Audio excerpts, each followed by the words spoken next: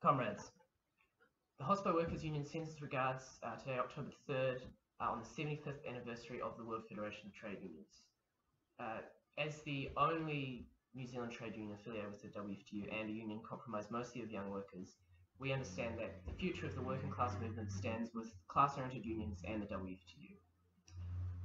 Uh, onwards, comrades, towards a future without exploitation and monopolies. As we say here in Aotearoa, maranga mai te honga mahi. Workers of the world unite.